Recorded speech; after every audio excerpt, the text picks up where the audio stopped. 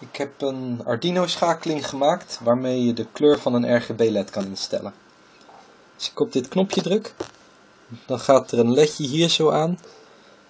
En het eerste ledje geeft aan dat ik rood kan instellen, de tweede groen, derde blauw. Ik kan de kleur instellen met de potmeter die hier zit, dat is de blauwe. Dus ik ga draaien. Zie je dat rood steeds feller wordt.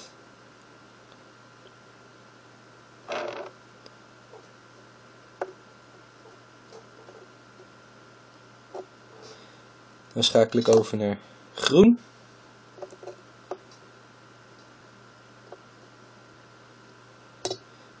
En blauw.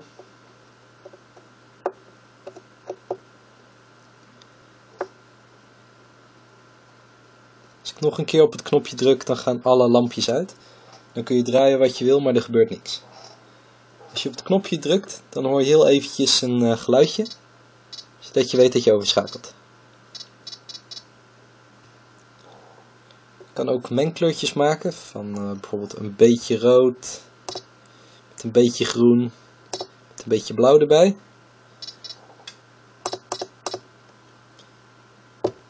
En dat is het zo'n beetje.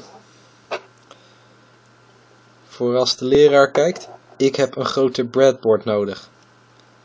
Het past er echt nauwelijks op allemaal. Kijk maar hoeveel er allemaal op zit. Daarom heb ik ook een schroevendraaier nodig om bij de potmeter te komen, want ik krijg mijn vingers er echt niet tussen. Bedankt voor het kijken.